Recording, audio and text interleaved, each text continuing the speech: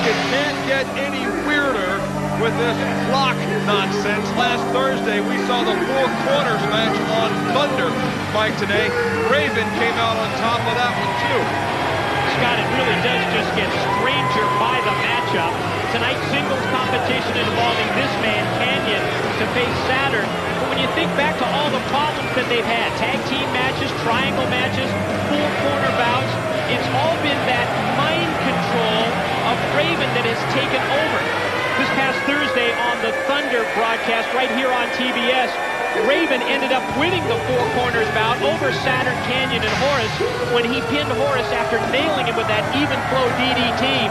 But did you see earlier in the matchup when Horace got Raven and just waffled him with the stop sign? You could see he enjoyed that just a little bit. Well, we saw in the footage just moments ago from Nitro that just odd tag team match where Raven teamed with this man, Saturn, and took on Kanyon, who's in the ring, and Horace. This just gets weirder and weirder. I've given up trying to make sense out of this situation, but on Nitro and on Thunder and on Saturday night, every week I'm surprised by what goes on in this situation. Well, one thing that does make sense, the stipulations for the matchup involving Saturn and Raven, upcoming at Fall Brawl, September 13, live on pay-per-view. Because if Raven defeats Saturn, this man, he must not only return to the flock, but he must be subservient to Raven. Bottom line, if Saturn wins, he promises that he is going to free the flock. And at that point, I really think if he is successful, we're going to see some stars emerge from that flock as long as they're not under the mind control of Raven. Side headlock now by Saturn, the former Army Ranger. Wrist lock coming out into a hammerlock by the innovator Kanyon. Float over into a front face lock by Saturn.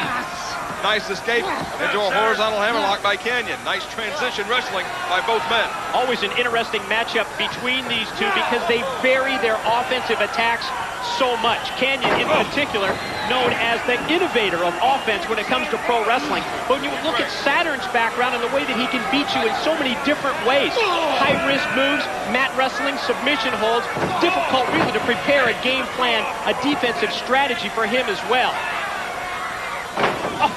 Slingshot elbow from the apron by Kanyon Hooks the leg and he got the two count on Saturn. Scott, we have a huge announcement for our fans in the New York area going on sale. Thursday, August the 27th at 10.30 a.m. Tickets for the return of Nitro to the Big Apple. That's right, Monday Nitro back in Uniondale, New York on November the 9th. Tickets go on sale Thursday at the Nassau Coliseum box office at Ticketmaster. And here's the big announcement. You can meet Goldberg and the Nitro Girls at the Nassau Coliseum Thursday from 10.30 a.m. to 12.30 p.m. Whoa! Goldberg and the Nitro Girls on Long Island this Thursday. I'm there. I'm there. Couple of other quick notes about Nitro. Tickets still available for Nitro in Miami on August the 31st at the Miami Arena box office and Ticketmaster, as well as for the Nitro Greenville, South Carolina event, September 14th, the date. We will be at the BI-LO Center. Also, it's Nitro in Boston, Massachusetts on September the 21st at the Fleet Center. Quick roll-up by Saturn and a two count. The master of the suplex, Saturn. You never know when he wraps you up how he's going to get you over the top, but he always does it. That's over the top to the arena floor, and Kanyon desperately needs this break, but he's not going to get it. Saturn follows him right out. And thankfully, that is no longer an over-the-top rope disqualification. WCW oh. Executive Oh. Committee changing that rule several months ago, and I don't think there's any way you can change rules about going head first into the steel ring steps. And Kanyon, as talented as he is, can't do much innovating when he's head first into the steps at ringside. Surprised he can think at all after that. And here comes Saturn again with a follow-up. And we're talking about that executive committee, and we expect a major ruling this Monday. We understand that the interim commissioner, Rowdy Roddy Piper, is going to be at Nitro this Monday with a major statement. And again, Saturn sends Kanyon headfirst into the steel steps. Well, Roddy Piper doesn't just show up with the popcorn and the drinks at Nitro. When he shows up, you know there's going to be something going down Monday night. And he will be there in Chicago.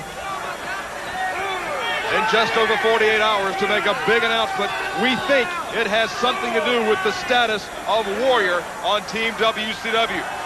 Saturn follows up. Big boot to the side of the head of Kanyon. Kanyon just cannot get untracked. Since he took the header to the arena floor, Saturn has been in control over Kanyon. Hold on, reversal by Kanyon. Saturn into the ropes. Into the bridge. Hooks the leg. Nicely executed. Two count on Saturn. Well, it was a nice recovery by Kanyon. And he stops that big right hand from Saturn, measures him with one of his own. Where's he going to go from here? Oh, great move. Shoulders are down, gets a two count. Crucifix roll by Kanyon. Now he's got him shoulder high. Fireman's carry. Where does he go from here? Flapjacked him. Oh, he landed right down on the wrist. He tried to block it with his hand. Blocked it from hitting him in the head, but he might have really done some damage to that wrist. Hang on. Kanyon is going up to the second rope, into the fireman's carry. Is he going up another one? No, he's going to stay at two. Oh! Fall away slam off the middle rope. But if you look at the reaction from Kanyon, it looks like the back of his head made contact with the canvas as well as Saturn. Roll. Got Cover. the leg hook. No, only two. Oh, and Kanyon. Had Kanyon not taken the brunt of that fall on the fall-away slam, he may have had Saturn there for the one, two, three. Kanyon shakes it off. He's going up top this time. Top rope. Big man to be up on the top rope. Moonsault from Kanyon. Now, how often do we see that from him? Never. The innovator. A rarity. That time it didn't work. Saturn able to roll out of the way at the last split second. No contact made. It's certainly not the first moonsault we've ever seen in pro wrestling, but oh! Standing sidekick. Connected with authority. He just needs to roll over and cover him. Lateral press hooks the leg by Saturn, and he got the two. I thought that was it. Both men so close to gaining the win. Both men are spent. This is taking its toll on both Saturn and Kanyon and Nick Patrick, the referee, just got hammered. Oh, he just got sandwiched in the corner. Saturn sent Kanyon into the turnbuckle. Oh! Twisting suplex by Saturn. You He's headed out know. to the ring apron. High risk top rope move on the way from Saturn now. This is going to be the splash out of the corner. Oh, yeah. Oh, that's it. Kanyon is done. Raven. Well, we Raven. thought. Oh, not the even flow DDT. Oh, he spiked him in the middle of the ring. I'm not sure that Kanyon ever saw Raven in the ring. Hang on. Well, Horace. Now he's got tie contact. Oh. Oh, Now wait. boy. Now Horace is back aligned with Raven again. I guess now Raven and Horace are having words. Well, maybe not. Each man attacked it. What is going on? Now Raven getting back onto the ring apron. Saturn and Kanyon are out. They were DDT'd and hit with the stop sign. Nick Patrick somehow back on his feet, counting out both men, I guess. You know, Horace just said to Raven, you can't always get what you want. Raven, Referee Nick Patrick is putting in the count. What's going to be the decision here? I have no idea. There's the bell. Can we get this official from Dave Penzer? Ladies and gentlemen, Here we go. Then knocked out to the 10 count. The referee Nick Patrick rules this match a no contest. It's a no contest. Another chapter.